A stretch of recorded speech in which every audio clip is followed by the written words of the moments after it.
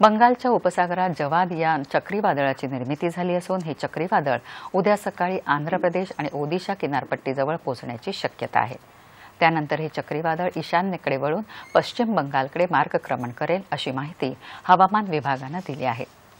या पार्श्वभूमीवर आंध्र प्रदेश आणि ओदिशाला इशारा देण्यात आला असून आंध्र प्रदेशमध्ये तीन जिल्ह्यांमध्ये रेड अलर्ट जारी करण्यात आला आहे.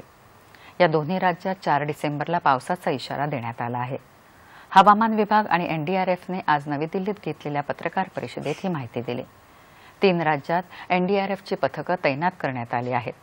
या चक्रीवादळाचा सामना करण्यासाठी एनडीआरएफ पूर्णपणे सज्ज आहे असं एनडीआरएफच्या महासंचालकांनी सांगितलं.